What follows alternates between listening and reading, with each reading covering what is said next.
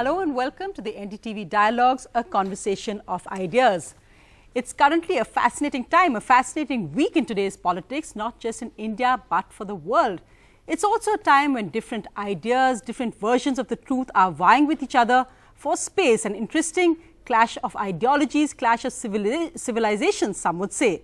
Joining me for more on this is two of our most articulate politicians and both of them much more than just politicians. Uh, Shashi Tharoor just out with his new book, An Era of Darkness, The British Empire in India and also Chandan Mitra, editor of The Pioneer with the BJP. Thank you both very much for coming in. And of course, both of you on different sides at this point, but also very close connection. Uh, Chandan, you were once uh, Shashi Tharoor's campaign manager in college. Yes, I was. And, and a very successful one. I won the election. yes, he won the election. And no, and we, we go a long way actually. Uh, we are from both from Calcutta, then from Stephens, and Stephens we were very close associates. And at a personal level, the, I think the association is still very uh, strong. Although yes, politically we have gone different ways. It's nice, in fact, to have two uh, politicians different parties still be civilized and friends because fr in today's time, uh, Shashi it's increasingly difficult for that to actually happen. Nowadays, if you have a different ideology, it almost means you're enemies. Why do you think that is? Um, I think the sort of polarization concept has genuinely gone very far. Temperamentally, that has never been my style. In fact, Chandan will recall when we were allies in college, he was still politically not with me. He was to my left. He was practically a Trotskyite. and I was the sort of Swatantra Party kind of, you know, uh, right of center kind of figure in college.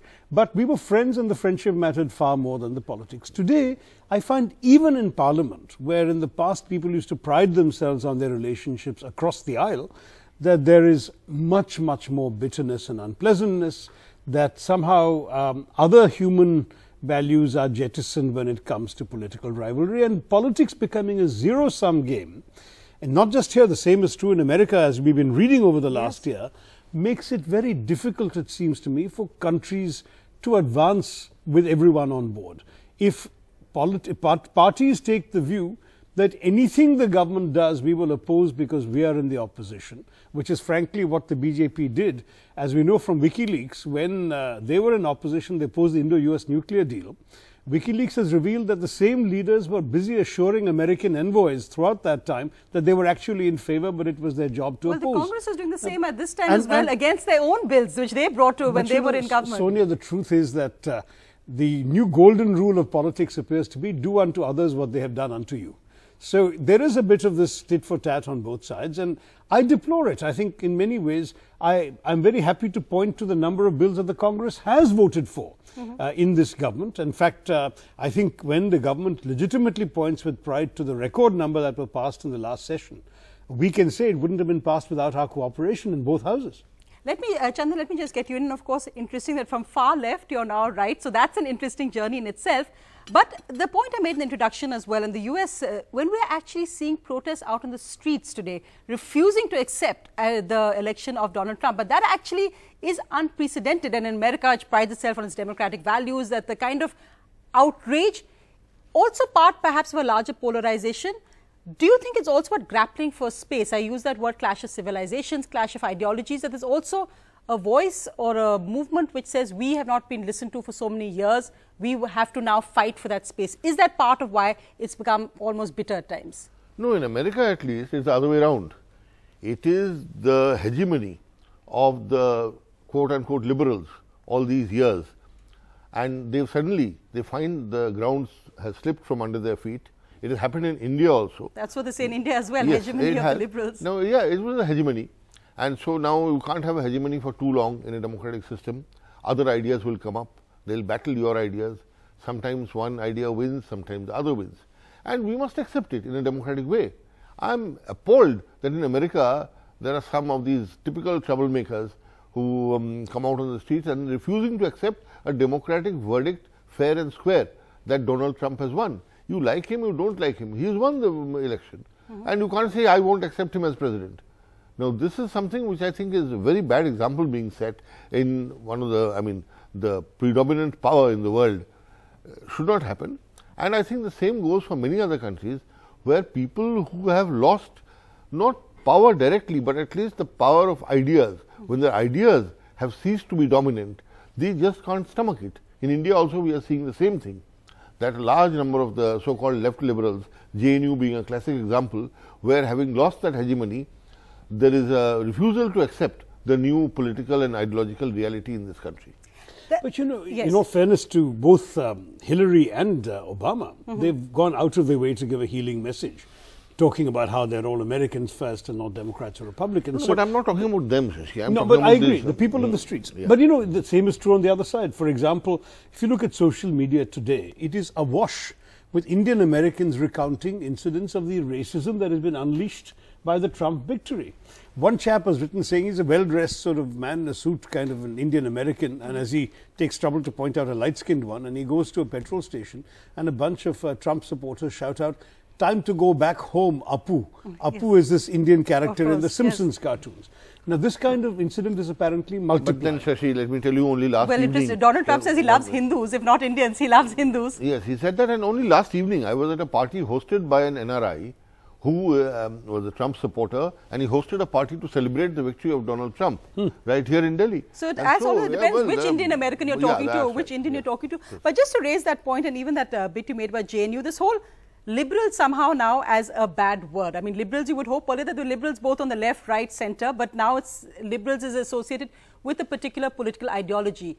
And history as somehow something which needs to be uh, reparation needs to be made for, or there needs to be some payback. Whether I mean, the BJP has come a lot about correcting the wrongs done by Pandit Jawaharlal Nehru. You've gone back to another era, of course, in your book when you talk about the British Empire. But when you look at that concept of correcting the wrongs of history or how history has been interpreted, it's something the BJP or uh, uh, ideology-wise, many more on their side have done. Perhaps that's why your speech is met with such a warm response from your friends on the right. Well, they'll have to explain why they liked it, but They've I think- explained why because they believe, they've shared the same belief.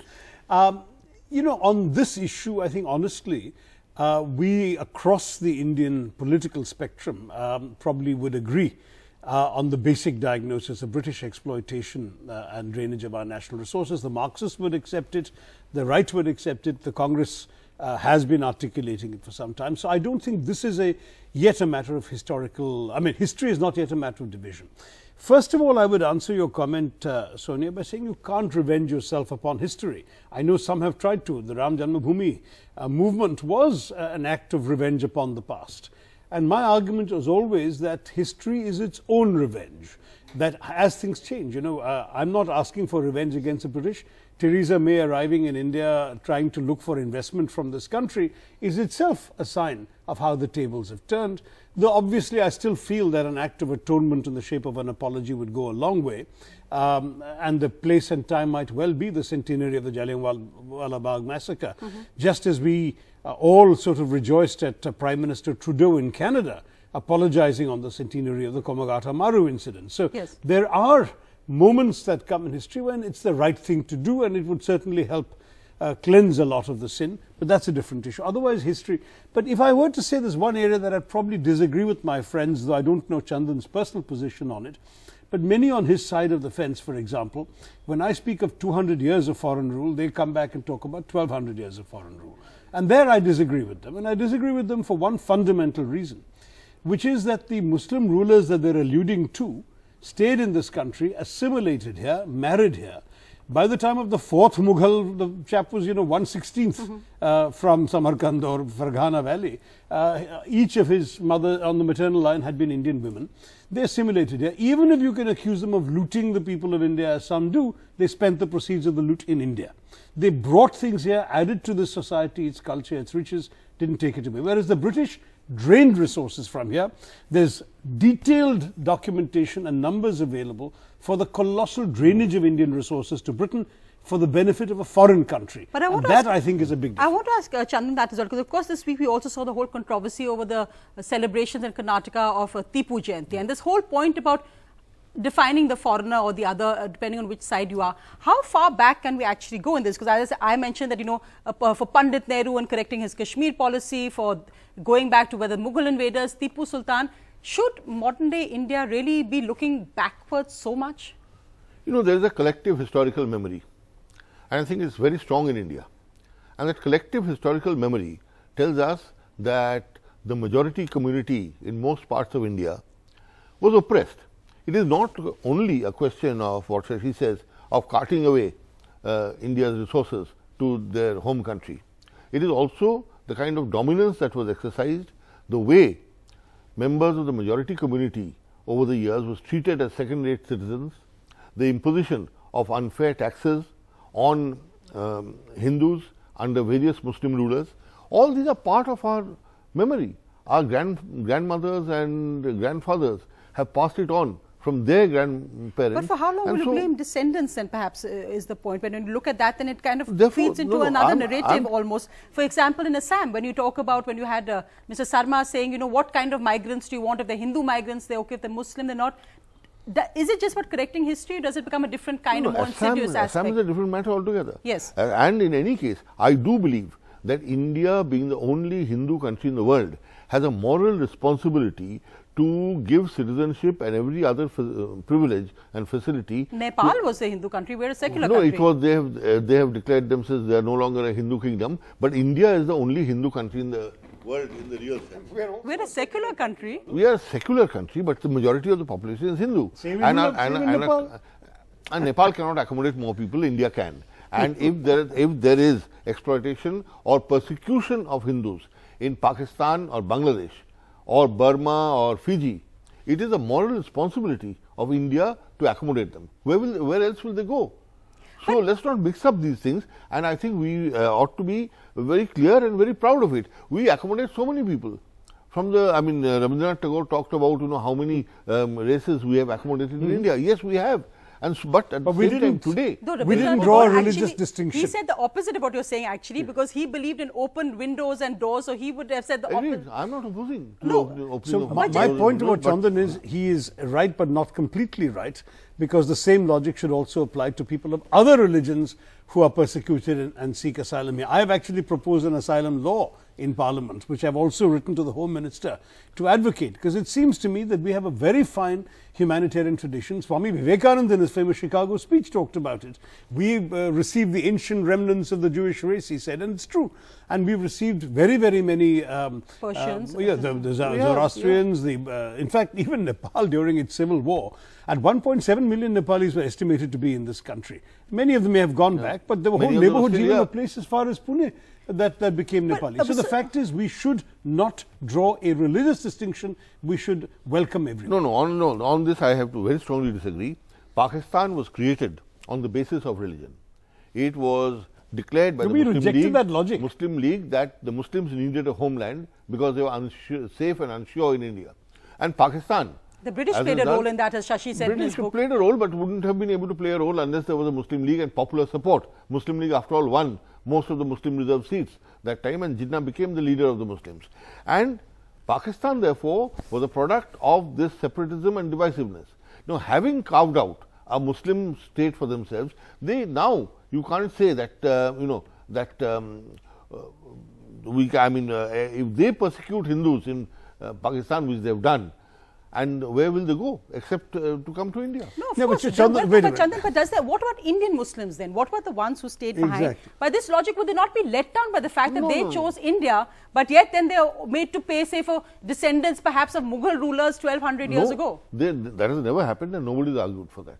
Never been argued. But when you say we're a Hindu country, what would a Muslim feel in I, India who, is, who has saying, stayed here for generations? I have not said, I said we are predominantly a Hindu country, therefore our culture is predominantly Hindu. But yes, I mean it is the nature of Hinduism to accommodate and therefore, so many cultures, so many ideas as Shashi pointed out have been all accommodated and we are doing fine and living together. But we still can't run away from the fact that the basis of Indian culture is Hinduism. Okay, but there is a fundamental yes. disagreement. I'm sorry, son, I really have to say it. What Chandan is saying is practically accepting the logic of partition. I refuse to accept the logic of partition. Partition was wrong. We have happened. stood up against it. We have said that religion is not the basis for determining nationhood, that everyone whose ancestors or themselves have contributed to the building up of this nation has as much right to stay here. But the Congress signed off on it. The Congress signed off the on it. The day Congress accepted it, I'm sorry, this argument can no longer be accepted from a congressman. No, I'm sorry. the argument that we are making is that what remained was not a country for Hindus, it was a country for everyone. It was a quarrel in our nationalist movement between those who wanted a country for Muslims and those who wanted a country for everyone. Mm-hmm. It was not a quarrel between those who wanted a country for Muslims and those who wanted a country for Hindus. In that case, the Hindu Mahasabha would have led, led our nationalist movement, not the Congress. But let me ask you the converse of what uh, the argument is really what uh, Chandan is making. That when he says that the majority in India had become oppressed, and again the current political debate feeds on this in so many ways over triple talaq. Why is it that the Congress has been very ambivalent on its stand there rather than saying that this is a law that if it's against human rights, against women's rights, cannot stand? This is the kind of, say, perhaps semantics or pussyfooting around issues which many question. No, let, let me first of all on triple talaq say very clearly that it is manifestly the way it's practiced is something you can see three times and often by text message. That is a violation of human rights and we should leave it to the courts to rule on it. There Why is not the government? Why should the government abdicate from it? Why should the courts rule on it? No, because it is actually pending before the courts. So True, but the there is a court action. Yeah, No, but the let me, government let me can just also come back. make a- But the only court reason for the when Congress. the court acted in Shah Bano, Yeah. their prime minister had it reversed in parliament. well, it wasn't my party at that time, and I didn't Yeah, like it that was your decision. I said, so I'm just But saying your that- Minorities Affair Minister A lot apparently backed yeah. that. Najmaji apparently Exactly, was she the one who backed it at that recommended that. So yours that and is- yours and mine kind was- of she goes was not around. in our Goes party around. then. But, but That's true. But, but the important thing is, you know, when Chandan talks about how the majority was oppressed, the fact is there were Hindu generals fighting for Muslim rulers, there were Muslims fighting in Shivaji's army. The, the things And are much more to each fluid. other, yes. I demonstrate in my book in some detail how a lot of this perception of majority and minority religious divisions and so on were actually a creation of British rule. And it was very systematic attempt to divide our minds and divide ourselves against each other to further the imperial project. So in fact, relationships were far more fluid, religious identities were far more fuzzy, Hindus were routinely participating in Muslim festivals and vice versa, recorded instances of Muslims repairing Hindu temples. I mean, it was not the kind of uh, uh, ossified division and polarized identities that today, unfortunately, some are pursuing. Now, you ask me why the Congress is being ambivalent. The Congress is saying we're not saying we're not speaking in favor of triple talaq, but we are, frankly, uh, a little dubious about the political agenda of those who are putting it forward. That is the Congress. So they're saying, don't ask us right now. The, the ones who are putting it forward, they can speak. We are not defending triple, triple talaq at all. We have certainly not taken a position that a man can say talaq three times and divorce his wife. But we have said you're asking us to take a political stand in favor of somebody else's political agenda. Why should we do so? And I think that's a legitimate position for a political party to take. No, no, no, no. I think you're just fudging the issue. You see, very, I think Congress will have to come to a point where they will have to say yes or no.